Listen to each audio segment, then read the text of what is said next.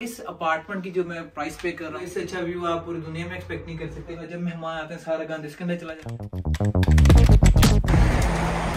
असलम क्या हाल चाल सब लोगों को? उम्मीद है आप सब लोग ठीक होंगे और खैरियत से होंगे। अलहमदिल्ला मैं भी ज़बरदस्त और ठीक हूँ। तो अभी आप मेरे पीछे देख रहे हैं बर्फबारी बहुत हुई हुई है सर्दी भी बहुत है। आज की मेरी वीडियो का टॉपिक होने वाला है, मैं apartment tour in Almaty Kazakhstan तो चलें, मैं आपको अपना अपार्टमेंट दिखाता हूँ। अपार्टमेंट का डोम टाइप का हाउस है ये पूरा। तो आपको अपने हाउस का मैं टूर देता हूँ और दिखा बताता हूँ इसका कितना रेंट है और हम कितने लोग रह रहे हैं। आए मेरे साथ।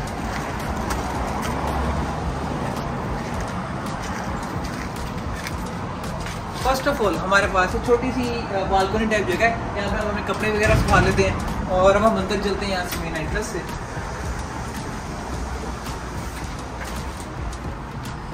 होते ही, सबसे पहले हमारे पास वॉशरूम आता है, ये वॉशरूम का डोर है, आप देख सकते हैं। और उसके बाद फिर हमारे पास ये किचन है किचन के एरिया किचन में अगर आप अंदर आते हैं तो हमारे पास सबसे पहले तो सिंक है, उसके बाद चूल्हा है और वॉशिंग मशीन है। और ये हमारे पास शू रैक पड़ा है यहाँ पे।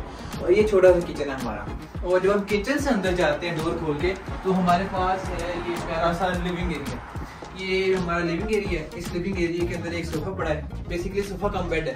जब फ्रेंड्स वगैरह आते हैं तो ये यूज़ होता है। और उसके साथ साथ यहाँ पे हमारा खाने का टेबल है। यहाँ पे हम खाना शाना खाते हैं और पढ़ाई शढ़ाई भी अगर करनी हो तो कर लेते हैं। उसके साथ साथ इधर आए हमारे पास तो यहाँ पे मेरी क्या कहते हैं आयरन स्टैंड है। और छोटा सा प्यारा सा बैठने की जगह हमारे पास। इसको सोफा कहते हैं। और अगर हम इस तरफ़ आपको मैं दिखाऊँ तो इस तरफ़ हमारे पास फ्रिज है किचन के साथ ही। फ्रिज है और ये मेरा प्यारा सा टी एरिया टी बार है। यहाँ पे हम चाय वगैरह बनाते हैं। और अगर फ्रिज की बात की जाए फ्रिज मेरा दिखाने का दिल तो नहीं है, दिखा देता हूँ। फ्रिज की बात की जाए तो ये हमारी प्यारी सी फ्रिज है। और आपको पता है स्टूडेंट लाइफ है बार बार बाहर जा नहीं जाता। तो हम पूरा महीने का स्टॉक पहले ही कर लेते हैं।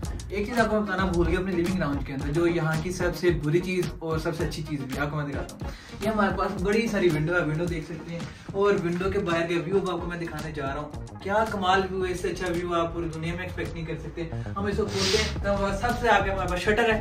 ये माशाल्लाह से कजाक इंजीनियरिंग का शाहकार है तालियाँ बजानी चाहिए विंडो के सामने हमारे पास एक शटर है। कोई व्यू नहीं है, कोई चीज़ नहीं है। अच्छा खैर, अब हम चलते हैं अपने बेडरूम की तरफ़। आए।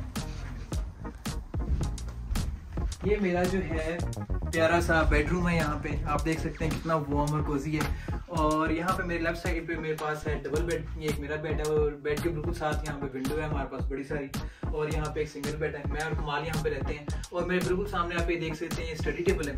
एक ये स्टडी टेबल है और स्टडी टेबल के बिल्कुल सामने यहाँ पे हमारे पास आ जाता है बुक रैक और इसका हमने बुक्स वगैरह स्टोर की हुई है। और यहाँ पे हमारे पास एक बड़ी सारी वार्ड्रोब है।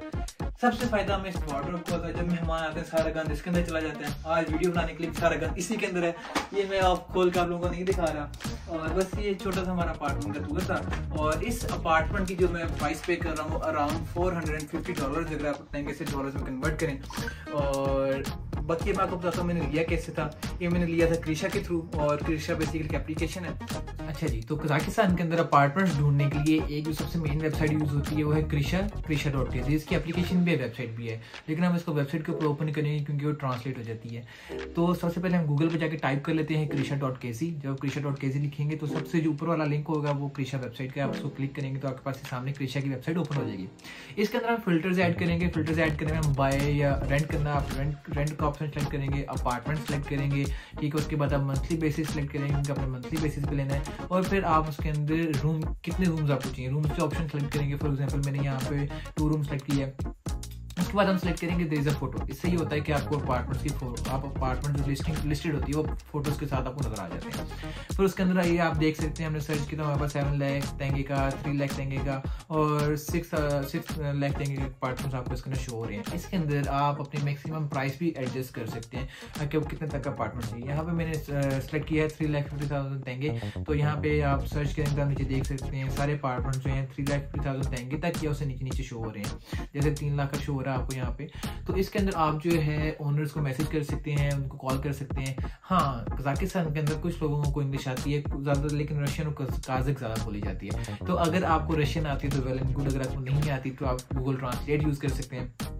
यहाँ पर अगर आपको कोई रशियन फ्रेंड या आपको कोई सीनियर है तो आपको अपार्टमेंट की सारी सर्च के अंदर आपकी हेल्प कर सकता है। अगर आप लोगों में से भी माध्यम कोई अपार्टमेंट सर्च कर रहा है तो best of luck for all of you guys कि आपको एक अच्छी से अच्छी डील मिल जाए और आप एक अच्छा अपार्टमेंट अपने ले सकें। जाने से पहले मेरे चैनल को लाइक और सब्सक्राइब ज़रूर कीजिएगा और बेल आइकन को भी प्रेस कर दें ताकि आपको मेरी आने वाली सारी अपडेट्स टाइम पे मिल सके। Is Mohammad Ahmed signing off Allah Hafiz